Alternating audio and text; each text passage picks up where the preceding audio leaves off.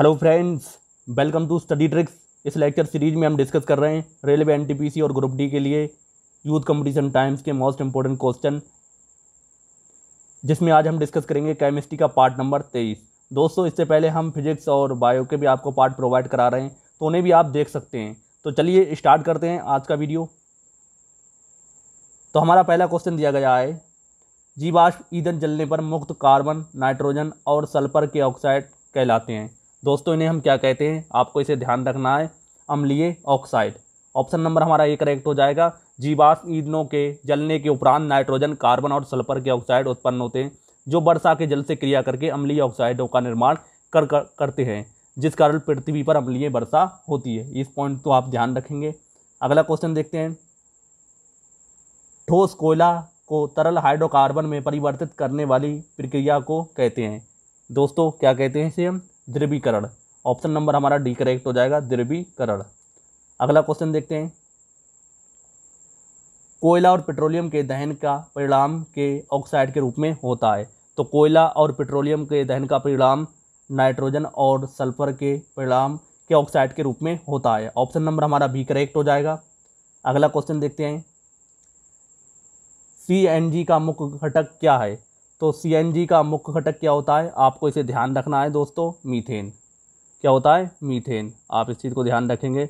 इसमें लगभग कितनी होती है? पिछहत्तर से अट्ठानवे परसेंट की तो मीथेन होती है। किसमें? सीएनजी में, यानी कंप्रेस नेचुरल गैस में।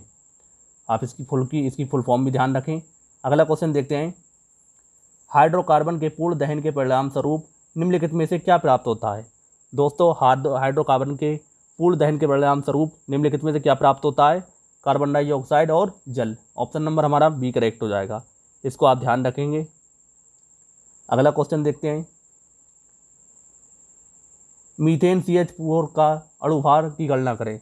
तो मीथेन यानी सी एच फोर के अणुभार की गणना करें। तो कितना होता है? सी एच फोर तो कार्बन का कितना होता है? बारह। हाइड्रोजन का एक, चार से गुणा कर देंगे, कितना हो जाएगा? चार। तो कितना हो जाएगा ये? सोलह। तो इसमें हमारा ऑप्शन नंबर सी करेक्ट हो जाएगा। तो आपको इस तरह के क्वेश्चन ध्यान रखना है, पूछ सकते हैं एग्ज़ाम में। अगला क्वेश्चन दिया गया है हमारा, डैश का उपयोग मोटर वाहनों से ईंधन के रूप में बढ़ रहा है। तो किसका बढ़ रहा है? कंप्रेस नेचुरल गैस का, यानी कि सीएनजी का। तो इसमें ऑप्शन नंबर हमारा कौन सा करेक्ट होगा? ऑप्शन नंबर ए करेक्ट हो जाएगा। अगला क्वेश्चन देखते हैं। निम्नलिखित में से क्या स्वच्छ ईंधन का गुण है? तो इनमें से कौन सा ईंधन का गुण है? स्वच्छ ईंधन का गुण है प्रदूषण मुक्त। ऑप्शन नंबर हमारा एक करेक्ट हो जाएगा। स्वच्छ ईंधन निम्नलिखित विशेषताएँ होती हैं। ये प्रदूषण मुक्त होना चाहिए, जिसके दहन से कम मात्रा में विषैले पदार्थों की उत्पत्ति होती है। स्वच्छ ईंधन सर्वसुलभ होते हैं और ये किफ़ायती भी होते हैं। तो इनके बारे में ये पॉइंट ध्यान रखेंगे आप। अगला क्वेश्चन देखते हैं। एलपीजी का मुख्य घटक क्या है? तो एलपीजी का मुख्य घटक क्या होता है? ब्यूटेन। उसके बाद इसमें क्या होता है? प्रोपेन। तो आप इसको भी ध्यान रखेंगे। इसमें मुख्य घटक पूछा है तो ऑप्शन नंबर हमारा डी करेक्ट हो जाएगा, ब्यूटेन। तो जनरली इसमें ब्यूटेन और प्रोपेन होते हैं। अगला क्वेश्चन देखते हैं। डैश का प्रयोग कारों में पेट्रोल के साथ ईंधन के रूप में भी किया जाता है। तो किसका किया जाता है? एथनॉल का। ऑप्शन नंबर हमारा बी करेक्ट हो जाएगा। एथनॉल का फॉर्मूला ध्यान रखें। C two H five O H आप इसके फॉर्मूले को ध्यान रखें। हो सकता है एग्ज़ाम में आपसे पूछ लें। एथेनॉल को ही हम क्या कहते हैं? एथिल एल्कोल अगला क्वेश्चन देखते हैं। मिश्र धातु एक है तो मिश्र धातु क्या चीज़ है एक? समांगी मिश्रण। ऑप्शन नंबर हमारा डी करेक्ट हो जाएगा, समांगी मिश्रण। अगला क्वेश्चन देखते हैं। आयरन की हीटिंग एलिमेंट बनाने के लिए निम्नलिखित में से किस पदार्थ का उपयोग किया जाता है? दोस्तों, आयरन की हीटिंग एलिमेंट बनाने के लिए किसका यूज़ करते हैं हम? नाइक्रोम का। नाइक्रोम मिश्र धातु का यूज़ करते हैं, ऑप्शन नंबर हमारा बी करेक्ट हो जाएगा। अगला क्वेश्चन देखते हैं। कांसा की मिश्र धातु है तो कांसा किसकी मिश्र धातु है? जिंक एंड आयरन की। नहीं, गलत है इसमें। तो किसकी है? तांबे और टिन की। कॉपर और एस एन की। आपको इसे ध्यान रखना, ऑप्शन नंबर हमारा बी करेक्ट हो जाएगा। अगला क्वेश्चन देखते हैं। पीतल निम्न में से किससे बनी एक मिश्र धातु है? दोस्तों, पीतल एक मिश्र धातु है, किससे बनी होती है? कॉपर और जस्ते से यानी कि C U plus Z and से। तो आप इसे को ध्यान रखेंगे कॉपर और जिंक से मिलकर क्या बनता है? पीतल। अगला क्वेश्चन देखते हैं। निम्नलिखित में से कौन सी तांबा और जस्ता की मिश्र धातु है? तो कॉपर और जिंक। कॉपर और जिंक से मिलकर क्या बनता है? आपको इसे ध्यान रखना है, पीतल। ऑप्शन नंबर हमारा सी करेक्ट हो जाएगा। ये पिछले क्वेश्चन में मैंने आपको बताया भी है। अगला क्वेश्चन देखते हैं। पीतल की मिश्र धातु है। तो पीतल किसकी मिश्र धातु है? कॉपर और जिंक की, यानी कि जस्ते की। तो उसमें ऑप्शन नंबर हमारा एक करेक्ट हो जाएगा, तांबा और जस्ता। अगला क्वेश्चन देखते हैं। पीतल के घटक क्या हैं? तो आप देख सकते हैं कि क्वेश्चन को किस तरह से बार बार रिपीट करके पूछ रहे हैं। तो तांबा और जस्ता। ऑप्शन नंबर हमारा डी करेक्ट हो जाएगा। अगला क्वेश्चन देखते हैं। निम्न में से कौन सी मिश्र धातु में टिन होती है? तो टिन किसमें होती है? सोल्डर में। ऑप्शन नंबर हमारा बी करेक्ट हो जाएगा, सोल्डर। पीतल किससे मिलकर बनता है? तो आपको इसे ध्यान रखना है। ऑप्शन नंबर्स में हमारा बी करेक्ट हो जाएगा।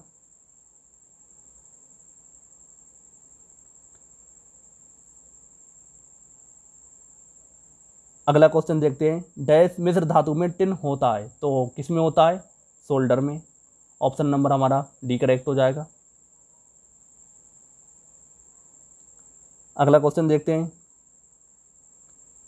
एक और दो रुपये के सिक्के से बनते हैं। दोस्तों, एक और दो रुपये के सिक्के किससे बने होते हैं? आपको इसे ध्यान रखना है फेरेटिक स्टेनलेस स्टील से। ऑप्शन नंबर हमारा ये करेक्ट हो जाएगा। इसको आप ध्यान रखेंगे। अगला क्वेश्चन देखते हैं। निम्नलिखित में से कौन सी धातु, पारद धातु मिश्रण का गठन करती है? जब इसे किसी धातु के साथ मिश्रित किया जाता है तो कौन करती है? आप इसको ध्यान रखेंगे, पारा, यानी कि एच जी तो ऑप्शन नंबर हमारा डी करेक्ट हो जाएगा। इसका परमाणु क्रमांक कितना होता है? अस्सी। आप इसको भी ध्यान रखें, हो सकता है एग्ज़ाम में ये भी पूछ लें। दोस्तों, रासायनिक जगत में केवल यही धातु साधारण ताप और दाब पर द्रव अवस्था में रहती है। इस चीज़ को आप ध्यान रखेंगे। इसके बारे में ये इंपॉर्टेंट पॉइंट है। एग्ज़ाम में पूछा जा चुका है। अगला क्वेश्चन देखते हैं। टंकाई यानी कि सोल्डरिंग के लिए का प्रयोग किया जाता है। तो सोल्डरिंग के लिए किसका प्रयोग किया जाता है? आपको ध्यान रखना है। सीसा एवं टिन का, यानी कि पीबी और एस एन का। ऑप्शन नंबर हमारा बी करेक्ट हो जाएगा। अगला क्वेश्चन देखते हैं। सोल्डर टांका के घटक होते हैं। तो कौन होते हैं? पीबी और एस एन यानी सीसा और टिन ऑप्शन नंबर हमारा एक करेक्ट हो जाएगा। इसको आप ध्यान रखेंगे। अगला क्वेश्चन देखते हैं। असंगत युग्म का पता लगाएँ। तो इसमें से आपको असंगत युग्म का पता लगाना है तो मैग्नीशियम व रजत स्टेनलेस स्टील। ऑप्शन नंबर हमारा डी करेक्ट हो जाएगा। अगला क्वेश्चन देखते हैं। निम्नलिखित में से भिन्न को तो आपको भिन्न बताना है। एल्युमिनियम, लोहा, पीतल, तांबा। तो इनमें से दोस्तों पीतल क्या है? एक मिश्र धातु है। बाकी सब क्या है? तत्मय। तो ऑप्शन नंबर हमारा डी करेक्ट हो जाएगा, पीतल। पीतल किससे मिलकर बना होता है? मैं आपको बता भी चुका हूँ, कॉपर और जिंक से। अगला क्वेश्चन देखते हैं। स्टेनलेस स्टील क्या है? दोस्तों स्टेनलेस स्टील क्या होती है? मिश्र धातु। ऑप्शन नंबर हमारा डी करेक्ट हो जाएगा। स्टेनलेस स्टील धातु। स्टेनलेस स्टील इस्पात की मिश्र धातु है। इसमें लोहा कार्बन क्रोमियम निकल का मिश्रण पाए जाते हैं। दोस्तों, ये कठोर होती है। इसमें जंग भी नहीं लगती है। इसका उपयोग बर्तन, ब्लेड, बल्ब बनाने में हम करते हैं। आप ये पॉइंट भी ध्यान रखें इसके बारे में। अगला क्वेश्चन देखते हैं। स्टेनलेस स्टील का आविष्कार किसने किया था? दोस्तों स्टेनलेस स्टील का आविष्कार किसने किया था? हैरी ब्रेयली ने। ऑप्शन नंबर हमारा सी करेक्ट हो जाएगा। अगला क्वेश्चन देखते हैं। निम्नलिखित में से कौन सा उच्चतम तापमान पर आसानी से ऑक्सीकृत यानी कि जलता नहीं होता है? तो कौन नहीं होता है? मिश्र धातु। ऑप्शन नंबर हमारा डी करेक्ट हो जाएगा। दो या दो से अधिक धातुओं के मिश्रण से बने नए पदार्थ को हम क्या कहते हैं? मिश्र धातु। दोस्तों, मिश्र धातु के गुण उस उस मिश्र धातु के बनने वाले संगठक धातुओं के गुणों से भिन्न होते हैं। आपको ये भी चीज़ ध्यान रखना है। मान लो कॉपर और जिंक से मिलकर पीतल बन रहा है तो कॉपर के गुण अलग हैं, जिंक के गुण अलग हैं, और जो पीतल बन रहा है, उसके गुण अलग होंगे। इस पॉइंट का मतलब यही है। यही आपको ध्यान रखना है। अगला क्वेश्चन देखते हैं। उच्च तापमान प्राप्त करने के लिए इलेक्ट्रिक तापन उपकरणों में समानता का प्रयोग किया जाता है। तो किसका उपयोग किया जाता है? एलॉय का। ऑप्शन नंबर हमारा बी करेक्ट हो जाएगा। इसको आप ध्यान रखेंगे। अगला क्वेश्चन देखते हैं। सोने को तांबे के साथ मिश्रित किया जाता है। दोस्तों, सोने को तांबे के साथ क्यों मिश्रित करते हैं? सोने को कठोर बनाने के लिए। ऑप्शन नंबर हमारा डी करेक्ट हो जाएगा। सोना एक धातु है।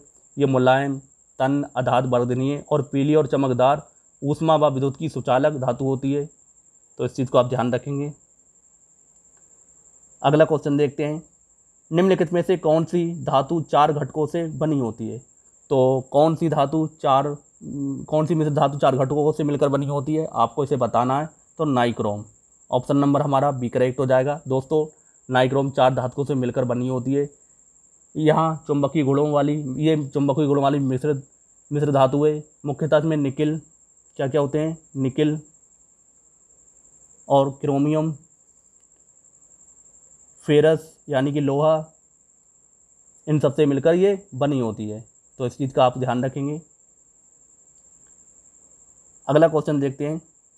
जब लोहे को डैश और के साथ मिश्रित किया जाता है, तब हमें स्टेनलेस स्टील प्राप्त होती है। दोस्तों, जब लोहे को निकल और क्रोमियम के साथ मिश्रित किया जाता है, तब हमें क्या मिलता है? Stainless steel. स्टेनलेस स्टील कौन सी होती है? जंगरोधी स्टील, यानी कि इस पर जंग नहीं आती है। अगला क्वेश्चन देखते हैं। यदि एक किलोग्राम मिश्र धातु में बत्तीस परसेंट कॉपर, चालीस परसेंट जिंक और शेष निकल है तो मिश्र धातु में कॉपर की मात्रा कितनी होगी? दोस्तों, कॉपर कितना दिया गया है? कुल मिला के आपके कॉपर की मात्रा बताना है तो कितना बची है? बत्तीस परसेंट, और नीचे आप सौ लिखेंगे और एक हज़ार से मल्टीप्लाई कर देंगे, क्योंकि आपको ग्राम में निकालना है। तो इसे हम सॉल्व करेंगे, लगभग आ जाएगा तीन सौ बीस ग्राम। ज़ीरो, दो ज़ीरो दो ज़ीरो कैंसिल हो जाएँगे और इससे गुणा हो जाएगी दस की बत्तीस से तो तीन सौ बीस ग्राम आ जाएगा। ऑप्शन नंबर हमारा डी करेक्ट हो जाएगा। अगला क्वेश्चन देखते हैं। किसी मिश्र धातु की एक धातु यदि मरकरी है तो वो धातु कहलाएगी। दोस्तों, वो धातु क्या कहलाएगी? आपको इसे ध्यान रखना है, अमलगम। ऑप्शन नंबर हमारा एक करेक्ट हो जाएगा। दोस्तों, किसी मिश्र धातु की एक धातु यदि मरकरी है तो वो उसे हम क्या कहते हैं? अमलगम।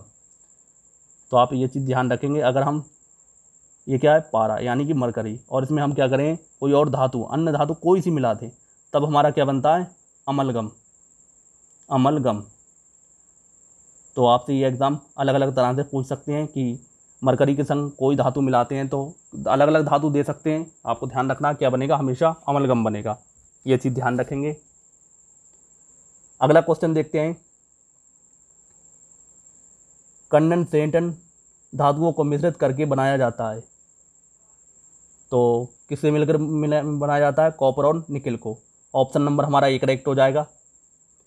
अगला क्वेश्चन देखते हैं। नाइक्रोम की संरचना क्या है? जो जो कि एक मिश्र धातु है। दोस्तों, नाइक्रोम की संरचना क्या है? तो लोह निकल और क्रोमियम। ऑप्शन नंबर हमारा बी करेक्ट हो जाएगा। अगला क्वेश्चन देखते हैं। नाइक्रोम किसकी मिश्र धातु है? दोस्तों, नाइक्रोम किसकी मिश्र धातु है? तो निकिल, क्रोमियम, एमएन और फेरस। तो ये चार धातुओं से मिलकर बनती है। क्या कौन? नाइक्रोम। अगला क्वेश्चन देखते हैं। ब्रॉन्ज के अवयव क्या होते हैं? दोस्तों, ब्रॉन्ज के अवयव आपको बताना है तो क्या होते हैं? कॉपर और एस यानी कि टिन। आपको इसे ध्यान रखना इसी को हम क्या कहते हैं? पीतल। सॉरी कांसा बोलते हैं इसे। क्या बोलते हैं? कांसा। अगला क्वेश्चन देखते हैं। इनमें से कौन से तांबे का मुख्य अभ्यासक है?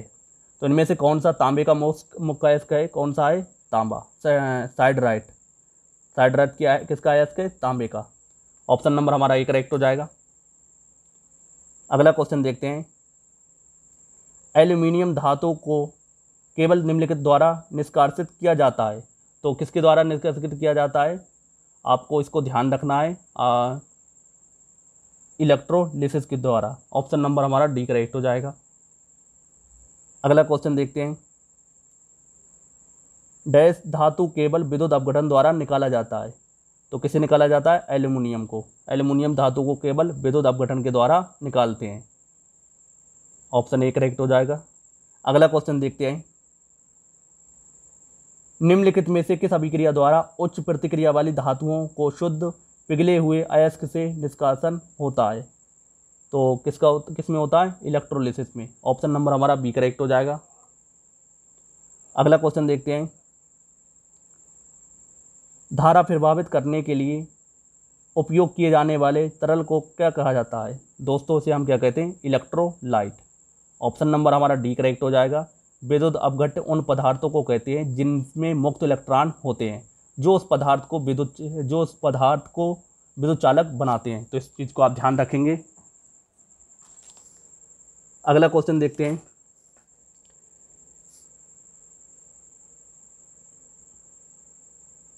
तो आपको इसे बताना अगला क्वेश्चन है हमारा। गैलेना किसका अयस्क है? तो गैलेना किसका अयस्क होता है दोस्तों? आपको इसे बताना है शीशे का। ऑप्शन नंबर हमारा एक करेक्ट हो जाएगा, यानी कि किसका अयस्क होता है? पीबी का। अगला क्वेश्चन देखते हैं। इनमें से कौन सा, कौन धात्विक खनिज नहीं है? इनमें से कौन सा धात्विक खनिज नहीं है? कोयला। ऑप्शन नंबर हमारा एक करेक्ट हो जाएगा। इस चीज़ को आप ध्यान रखेंगे। अगला क्वेश्चन देखते हैं। डैश एल्यूमिनियम का सबसे महत्वपूर्ण अयस्क है। तो कौन सा? इनमें से एल्यूमिनियम का बहुत पुराना अयस्क है, बॉक्साइट। ऑप्शन नंबर हमारा डी करेक्ट हो जाएगा। इस चीज़ को आप ध्यान रखेंगे। दोस्तों, एल्यूमिनियम के और अयस्क, कोरंडम, फेल्सपार, ग्रायोलाइट, एलुनाइट, कायोलिन, ये भी आप ध्यान रखेंगे। एग्ज़ाम में ये भी आपसे पूछ सकते हैं। अगला क्वेश्चन देखते हैं। धातुओं के ऑक्साइड जैसी अशुद्धियुक्त धातुओं के शुद्धिकरण के लिए कौन सी प्रक्रिया प्रयुक्त की जाती है? दोस्तों, कौन सी प्रतिक्रिया प्रयुक्त की जाती है? पोलिंग। ऑप्शन नंबर हमारा एक करेक्ट हो जाएगा। दोस्तों, पोलिंग विधि का प्रयोग धातु में उपस्थित अपचैत होने वाले ऑक्साइडों के निष्कासन में किया जाता है। इस चीज़ को आप ध्यान रखेंगे। अगला क्वेश्चन देखते हैं। ऑक्सीजन की उपस्थिति में अयस्कों को गर्म करने की क्रिया को कहा जाता है। तो क्या कहते हैं हम इसे? भंजन। ऑप्शन नंबर हमारा सी करेक्ट हो जाएगा, भंजन। अगला क्वेश्चन देखते हैं। फेन विलवन विधि अयस्क के चूर्ण को के मिश्रण से भरी एक टंकी में रखा जाता है? तो किसमें रखा जाता है? जल एवं चीड़ के तेल के मिश्रण से भरी एक टंकी में रखा जाता है। ऑप्शन नंबर हमारा बी करेक्ट हो जाएगा। आप इस चीज़ को ध्यान रखेंगे। अगला क्वेश्चन देखते हैं। फेन पिलवन विधि का उपयोग डैश एस के सांद्रीकरण के लिए किया जाता है।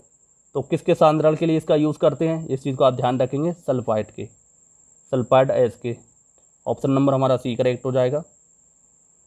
अगला क्वेश्चन देखते हैं। धातु कर्म एक प्रक्रिया है। तो दोस्तों धातु कर्म एक प्रक्रिया है। इससे क्या होता है? अयस्क से धातुओं को निकालने की। ऑप्शन नंबर हमारा सी करेक्ट हो जाएगा। धातुओं को अनेक अयस्कों से पृथक करने के, प्रकम तथा उपयोग करने वाले शोधनकर्ता को हम क्या कहते हैं? धातु कर्म। अर्थात धातु को उनके अयस्कों से प्राप्त करने की क्रिया को हम क्या कहते हैं? धातु कर्म। ऑप्शन नंबर हमारा सी करेक्ट हो जाएगा। अगला क्वेश्चन देखते हैं। डैश पारे का एक अयस्क है। तो इनमें से कौन सा पारे का अयस्क है? आपको इसे बताना है सिनेबार कौन सा है? सिनेबार ऑप्शन नंबर हमारा सी करेक्ट हो जाएगा। इस चीज़ को आप ध्यान रखेंगे। अगला क्वेश्चन देखते हैं। सिनेबार एक अयस्क है। तो सिनेबार एक अयस्क किसका है? पारे का, यानी कि एच जी का। ऑप्शन नंबर हमारा सी करेक्ट हो जाएगा।